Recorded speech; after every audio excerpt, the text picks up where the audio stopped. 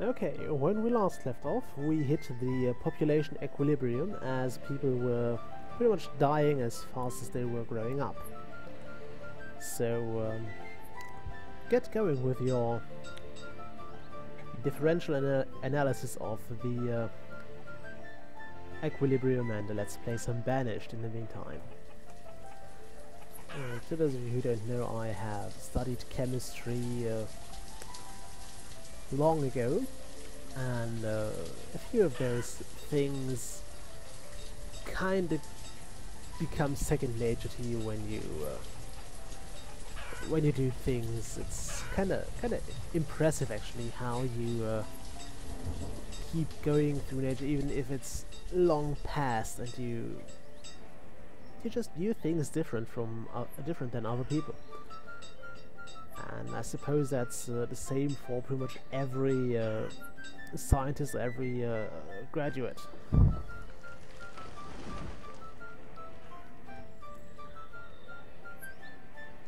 But it's definitely worth it. Although I've noticed that, uh, especially when you work for the university, but also when you're dealing with um, authorities and people who work for the authorities, like when you need some documents or whatever, that you end up questioning less and less. Uh, eventually the less sense it makes to you, the more you are convinced that it's going the way it's supposed to.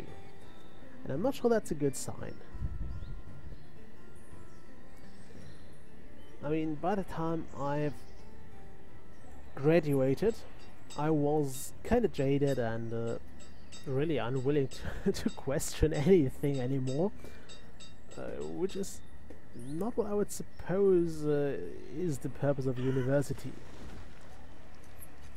Then again, I might be terribly wrong there, and um, that might be exactly the purpose of the university.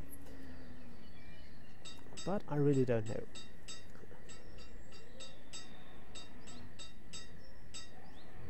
We actually, have a fair amount of uh, clothing.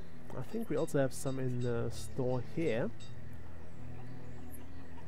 Yeah, we have uh, 75 hide coats here. Gonna up that to 100. And we'll see what the next trader brings us. I am kinda excited to see what we will get. I'm also I would also be excited if I got more children out of that here thing is we seem to only have very few uh, girls.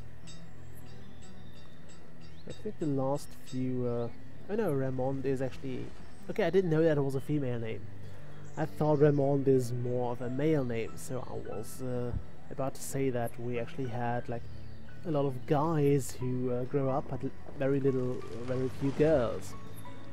Which uh, kind of puts you into trouble when you try to uh, have children in town and have more children in town. Well, we're back to 12 families.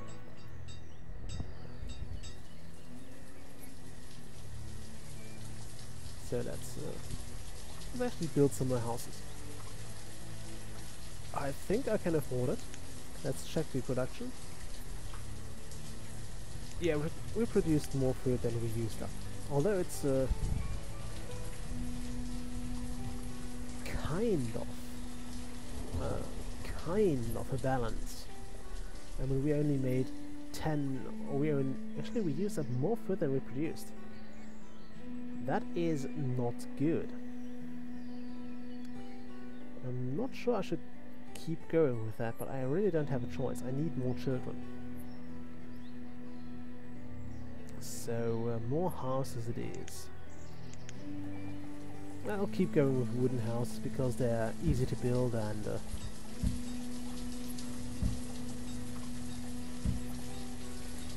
I mean okay I'm, i need more firewood but wood is actually the one thing you have in infinite amounts.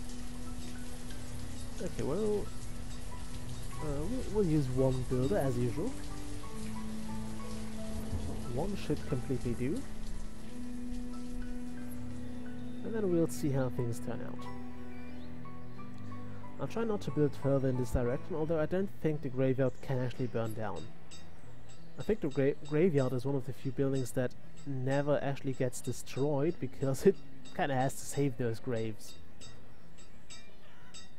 At least I never saw it burn, although what is supposed to burn in a graveyard anyway? the only thing that might actually burn is uh, some sort of iron gate, but we don't have that here. I think we didn't use a single bit of metal for this uh, construction, so really nothing can burn here. And I think it's also uh, not affected by tornadoes, although I might just have hit a few lucky tornadoes there. I mean, they never went like straight through the town. I think the uh, th last tornadoes I had in um, my other game, which I'm using as a reference for most things here, uh, were actually going through those little forest uh, pockets. So I had to rebuild all that. And in another game, I had like one over here and one over here. There wasn't lake at this point, so that was different and um, yeah, it was it was kind of destructive. I mean, it killed a lot of people because I had housing pretty close to those areas. I had a market and all that stuff. And we will build a market here later. Right now, those barns are perfectly fine. I will place a market once we actually get further away. Like once we get into, for example, farming in this area, I might want to have a market there. Or maybe once we get over here. Because then the ways to the barn and to the uh, stockpile are too long to be uh, uh to be counted and too long to make a, productive uh, settlement out here. Um, we will also drop some houses over here at some point. I don't know if farms can burn down. I would hope they can't. Then again, I suppose everything can burn. That's just the way things go in Banished. Okay, you have hit that, so uh, start tailoring.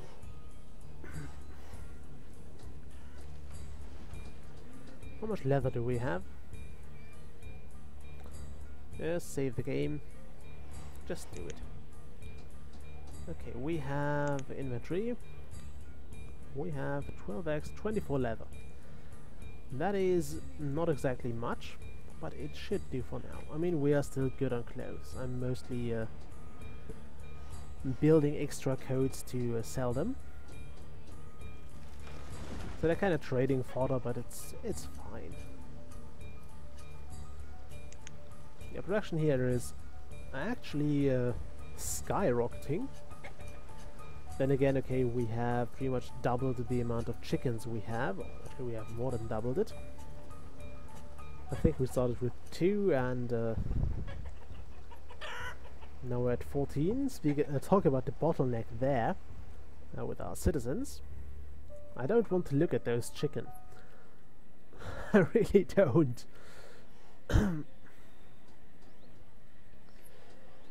Okay. Maybe there are like wild chicken that eventually uh, grow into those and uh, maybe people bring their own chicken, I don't know. Let's just hope you get some nomads soon because I do want to get things done and um, right now we can, and I'm saying this carefully, right now I think we can afford more people. The population is slowly recovering. Let's look at the graph here. Yeah, it's very slowly recovering. As I said in the uh, intro here, I'm we have hit the uh, equilibrium state, in which deaths and uh, births, or especially uh, deaths and the uh, graduations from school are evenly matched. So uh, our population does, our working population effectively does not change in numbers. and we just, I mean, we, we keep getting new people, but since people die at the same pace, we don't have a net change. And this is a bit troubling because I don't have a good way to get out of this. Also, I'm somewhat concerned that if this guy has lost all productivity, these guys might have as well. But no, those okay, those seem to be marginally smaller than uh, usually. I think we're usually at about 500 of these each as well. Sorry about that. But it seems the uh, weren't affected that heavily. Also the foresters are kind of bored right now because they don't have anything to do. And we are now a bit in trouble because I don't have anyone to replace the Gatherer. Let's just see how old my teacher is. He's 22, so that's fine. However, my builder might have to... Oh my goodness. okay. Uh, apparently the Grim Reaper is having fun here.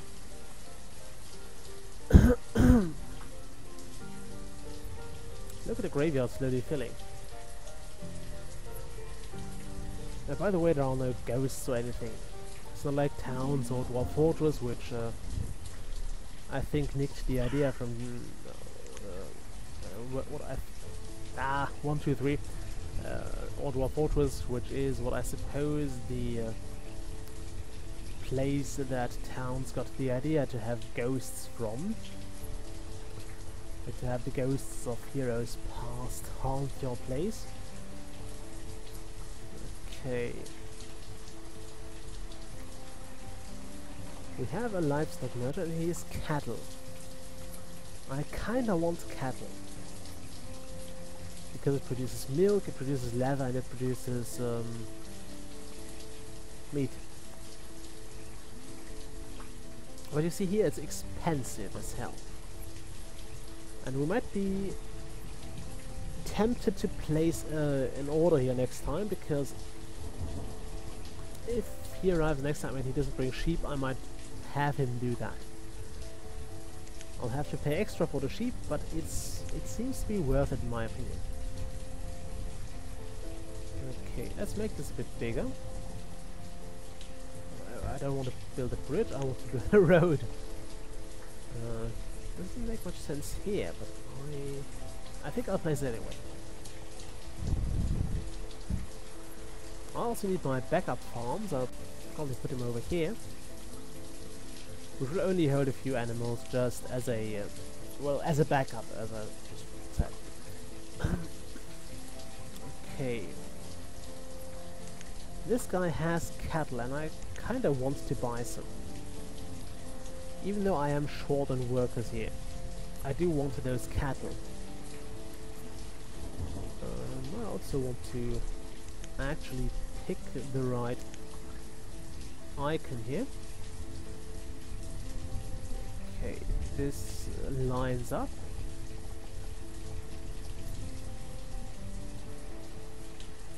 Actually, no, make that bigger.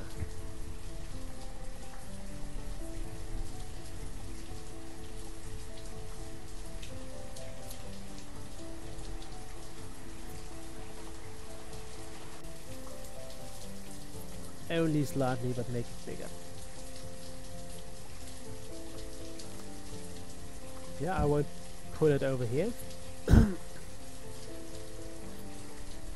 okay, now to the cattle. I mean, I can't build right now because I'm uh, kinda out of people, but I want two of those.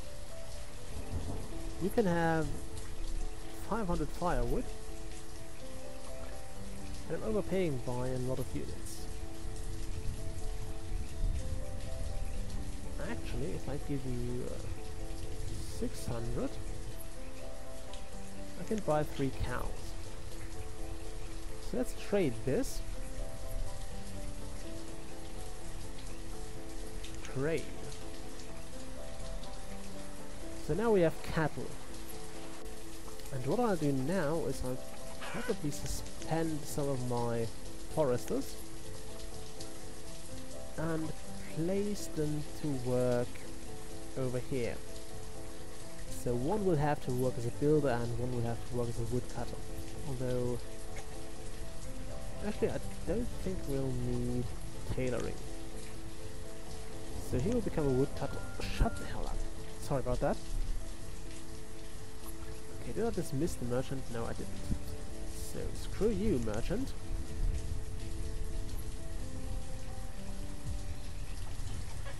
I think they all look the same here. So you can't really see which merchant is as he enters the map. But you will see uh, what merchant you have once he's at the uh, trading depot. Okay. Guys, I would like you to uh, focus on that. The focus tool? Uh, that was it. Okay, please get to work here first.